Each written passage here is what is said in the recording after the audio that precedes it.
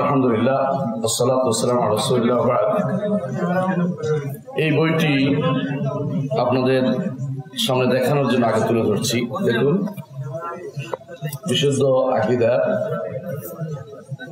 অনন্য সিপান সালাদ ইমাম শাহুল ইসলাম ইবনে তাইমিয়া আমরা এই বইটা লেখার পিছনে একটা কারণ ছিল। যখন প্রথমে আমাদের ভাই মনিরুদ্দিন আহমেদ বইটা লিখেছেন।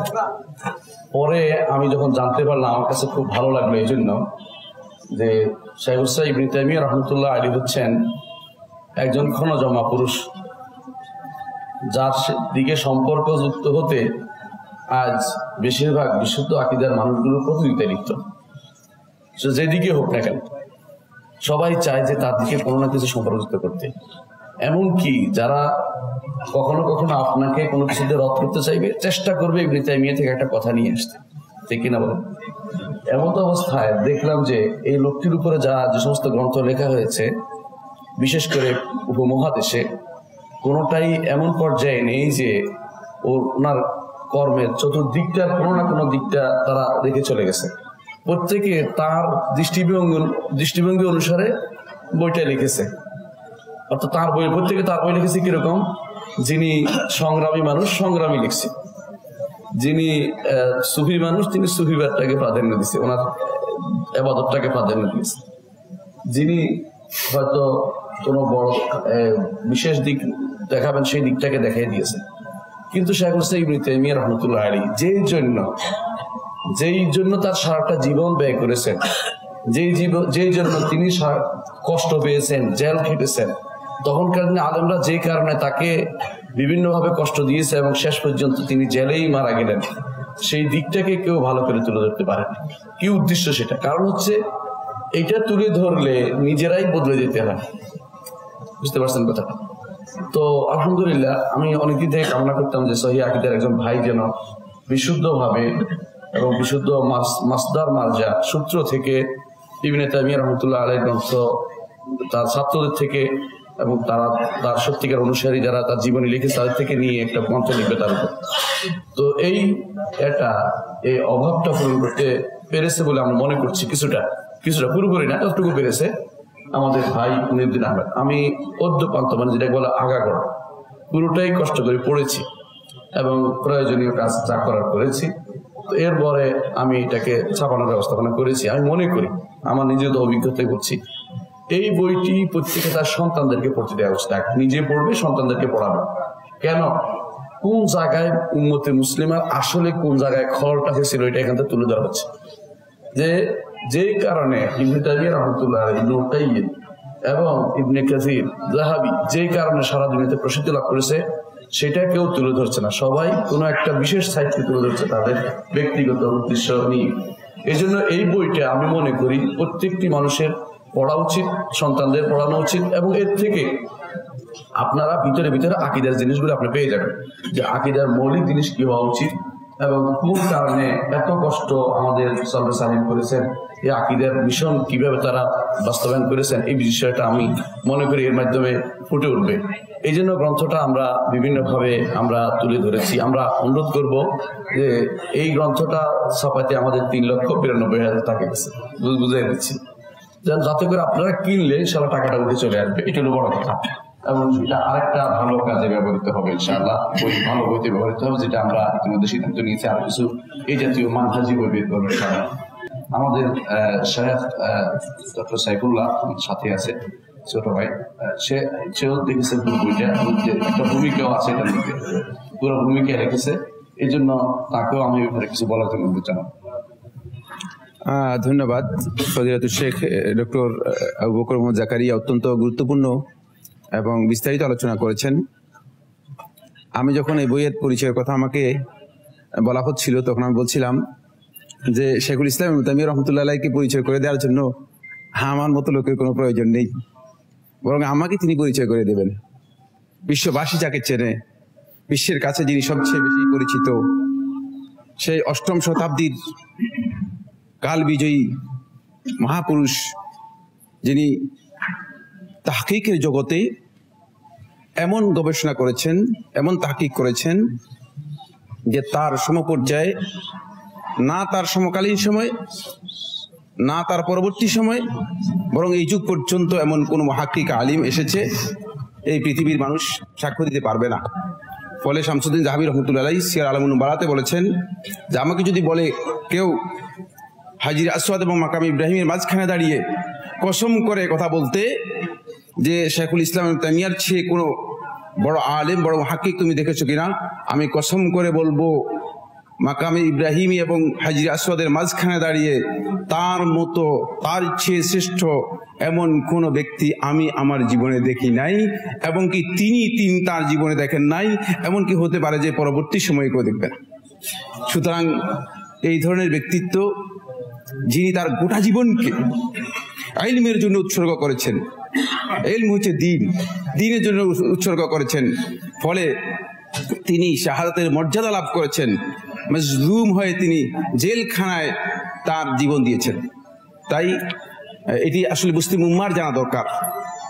কেন তিনি জীবনের এই দীর্ঘ সময় কি কাজে ব্যয় করেছেন? তার জীবনের উপর খুব সুন্দর একটি সংকলন। আমরা আশা করব আপনারা উপকৃত হবেন।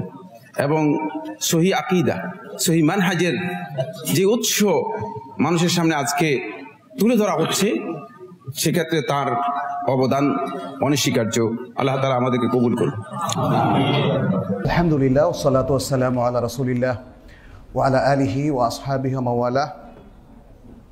শেখুল ইসলাম এবনু তাইমিয়া রাহমাহুল্লার সংক্ষিপ্ত জীবনী গ্রন্থ নিয়ে আজকে কথা বলতে পেরে আসলে আমি খুবই আনন্দিত। কারণ তিনি আমার পছন্দের সবচেয়ে বড় জ্ঞানী ব্যক্তিত্ব। এর মানে অন্যদেরকে আমরা ছোট করছি না। অবশ্যই সাহাবাই কেরাম, অন্যান্য সালাফ আমাদের অবশ্যই শিরোমণি, কোনো সন্দেহ নেই। কিন্তু তিনি হচ্ছেন scholar of the Ummah. Scholar of the উম্মাহ। সমস্ত ওলামাই কেরামের রোল মডেল যেটা আমাদের দুজন বিজ্ঞ আলোচক ইতিমধ্যেই আপনাদের সামনে উপস্থাপন করেছেন। তিনি হচ্ছেন অল রাউন্ডার অল রাউন্ডার আপনারা জানেন, বিভিন্ন জায়গায় ব্যবহার হয়। অর্থাৎ সব ধরনের যোগ্যতা তার ছিল। এই ধরনের যোগ্যতা সম্পন্ন ক্ষণজন্মা মুসলিম মনীষী আসলে খুবই কম।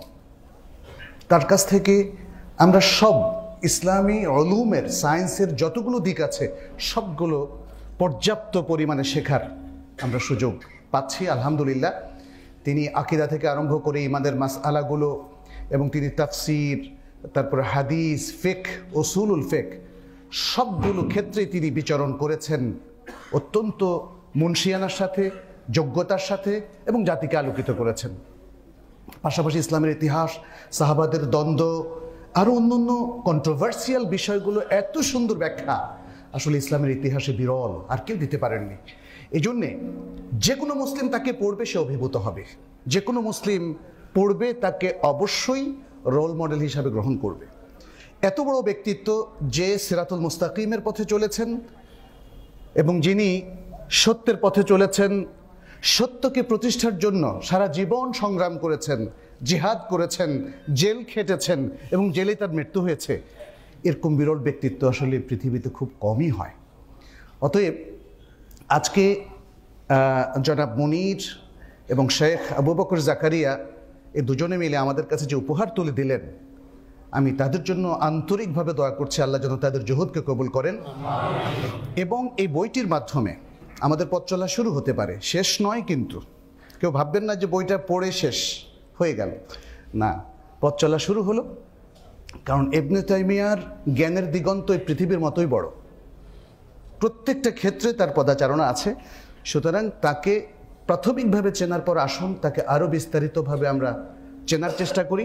অন্য অন্য বিদগ্ধ যারা রাইটার আছেন, যারা লেখক আছেন, সংকলক আছেন, তারা এগিয়ে আসবেন। তারা ইবনে তাইমিয়ার নানা বিষয়ের উপর লিখবেন আমরা আশা করছি। তার আকিদা ইমান সহ ইসলামের মৌলিক বিষয়গুলোর পাশাপাশি তার সমাজ দর্শন, তার রাজনৈতিক দর্শন, তার যুদ্ধ ইত্যাদি সব কিছু নিয়ে তিনি সমাজকে যেভাবে আলোকিত করেছেন, সেগুলো যদি আমরা আমাদের জাতির সামনে উপস্থাপন করতে পারি, আমাদের দৃঢ় বিশ্বাস, এদেশের মানুষ আলোকিত হবে, উপকৃত হবে এবং কীভাবে আমাদের সালাফকে, যার মধ্যে চার ইমামও আছেন, তাদের প্রতি শ্রদ্ধাশীল থেকে নিজেরা কমপ্লিট সহি মানহাজের উপর থাকা যায়, সেই পথটা কিন্তু ইবনু তাইমিয়া আমাদেরকে দেখেছেন। আজকে এই তরিকারই বড় প্রয়োজন। আমাদের মধ্যে যখন ঘৃণা বিদ্বেষ হানাহানি মাঝহাবি কন্দল এত কিছু সে সময় ইবনে তাইমিয়ার এই ম্যাথোডলজি এই মানহাজ মানহাজ এলমি আমাদেরকে পথ দেখাবে ইনশাল্লাহ আমি যারা এই বইয়ের প্রকাশনার সাথে লেখক থেকে আরম্ভ করে যিনি সম্পাদনা করেছেন এবং আরও যারা জড়িত রয়েছেন আমি তাদের প্রত্যেককে আহ, শুক্রিয়া জানাই এবং দোয়া করে আল্লাহ যেন তাদের এই জহুদকে কবুল করেন।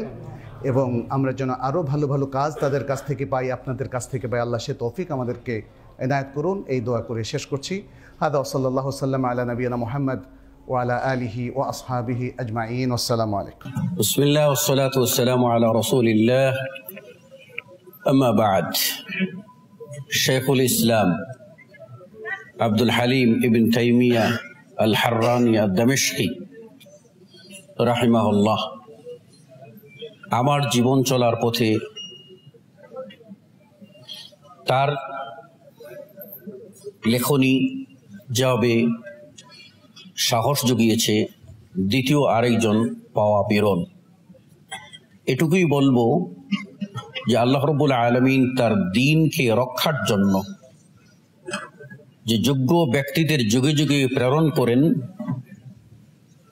সপ্তম শতাব্দী হিজড়িতে তাকেই প্রেরণ করেছিলেন এবং অষ্টম শতাব্দী হিজড়িতে তিনি শুরুতে বিদায় গ্রহণ করেন।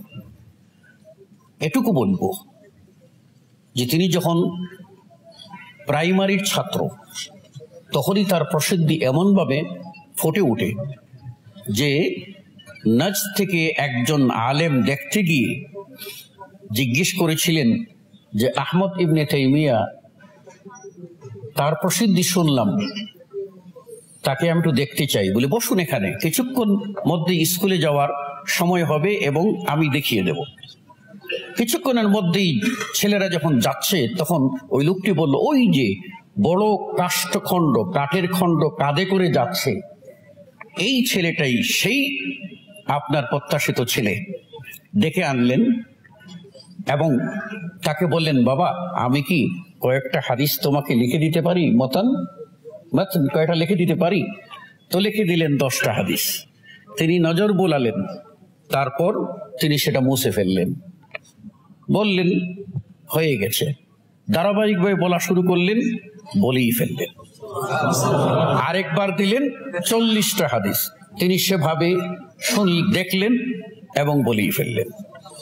আমি যেটা বলব তার সম্বন্ধে, দুজন দুটি উক্তি না বলেই পারছি না। একজন বলছেন যে ইমাম ইমনি তাইমে এমন ছিলেন, মনে হতো তার দুই চোখের সামনে টিভি স্ক্রিনের মতো পর্দা ভেসে উঠছে আর এর ভিতরে স্কলে যেরকম ইলিমে লেখা যায় ঠিক তার চোখের সামনে দিয়ে প্রত্যেকটি বিষয়ের লেখা যাচ্ছে। যখন তাকে যে বিষয়ে জিজ্ঞাসা করছেন, তিনি তখনই যেন দেখে দেখে দলিল প্রমাণ সহ সেইভাবে বলেছেন। একজন বলছেন যে, ইন্নাহু বাহরুন লা সাহিলা লাহ। তিনি হলেন একজন জ্ঞানের একটা সমুদ্র যার কোনো তীর, কিনারা নাই। আমি বলব, তিনি শুধু লেখনির জগতে না, তিনি ফতোয়ার জগতে তিনি সংস্কারের জগতে, তিনি বিপ্লবের জগতে, তিনি তাতারদের বিরুদ্ধে সংগ্রামে, এমনকি খালকে কোরআনের ফেতনায় সেরকম কঠোরভাবে জবাবে তিনি তার অবদান রেখেছেন। বিশ্ব উম্মা মুসলিম উম্মা সেকাল থেকে নিয়ে এযাবৎ পর্যন্ত শেখুল ইসলাম ইমাম ইমনি তাইমিয়ার জ্ঞান যা রেখে গেছেন, তার কাছে ঋণী। আমরা যখনই কোনো ফতোয়া জিজ্ঞাসিত হই, আমাদের জ্ঞানের সীমাবদ্ধতা নিয়ে যখন খুঁজে যাই, তখন তার মজমুয়া ফতোয়াতে যাই, গিয়ে দেখি সেই অষ্টম শতাব্দী হিজড়িতে এই প্রশ্নের জবাব তিনি লিখে গেছেন। সাঁত্রিশ খণ্ডের সমাপ্ত সেই আপনার মজমুয়া ফতোয়ার কিতাব। আরও কি? সুতরাং তার জীবনী সম্পর্কে জানলে, যেমনটি আমাদের সদ্য ডক্টর আবুবকর জাকারিয়া সাহেব বলেছেন, যে যারা তার জীবনী নিয়ে লিখেছেন, তারা এক একটি কর্নার থেকে, নিজস্ব দৃষ্টিকোণ থেকে যে পয়েন্টটা দরকার, সে পয়েন্টটা নিয়েছেন। কিন্তু সামগ্রিকভাবে ইমাম ইবনি তাইমিয়াকে জাতির সামনে অনেকেই সেভাবে পেশ করেননি। এই কারণে বর্তমান এই শতাব্দীতে আপনার মানুষকে কোরআন ও সন্ন্যার পথে ফিরিয়ে আনার জন্য সঠিক নির্দেশনা লাভের উদ্দেশ্যে এই যে ক্ষুদ্র প্রয়াস, এটাকে আমরা বলব একটা বড় উদ্যোগ। ক্ষুদ্রটাকে আমি বৃহৎ উদ্যোগ বলব যে শেখ মনিরুদ্দিন, তিনি উদ্যোগ নিয়েছেন এবং শত ব্যস্ততার মধ্যেও আমাদের শেখ সেখানে কলম ধরেছেন, নজর বুলিয়েছেন, খুঁটিয়ে খুঁটিয়ে পড়েছেন এবং আমাদের শেখ ডক্টর সাইফুল্লাহ তিনিও তার মুখবন্ধ, তিনি তার বাণী সেখানে তিনি লিখে দিয়েছেন। শুনলেন ডক্টর মঞ্জুর এলাহি সাহেবের চমৎকার বক্তব্য। কাজে আসুন, আমরা এটাকে ঘরে ঘরে পৌঁছিয়ে দিই এবং এই কাজে আমরা উৎসাহিত করি যাতে আমরা পরবর্তীতে দাওয়াতের ক্ষেত্রে যে মহা বিপ্লব সাধন করেছিলেন সেই মহান সংস্কারক তার সম্বন্ধেও যে ভুল ভ্রান্তিগুলি আছে সেই সুলাইমান আত্তাইমি আন্নাজদি মোহাম্মদ- সুলাইমান আত্তাইমি আন্নাজদি তার সম্পর্কেও যেন মানুষ সঠিক ধারণা পায়, পরবর্তী স্টেপ যেন সেভাবে নেওয়া হয়, এই প্রত্যাশা ব্যক্ত করে, এই মহৎ কাজে যারা জবাবে শরিক হয়েছেন, প্রত্যেকের জন্য আল্লাহর কাছে উত্তম যাজা ও পারিতোষিক কামনা করে ধন্যবাদ জ্ঞাপন করছি। আসসালামু আলাইকুম ওরহমতুল্লাহি ওবরাকাত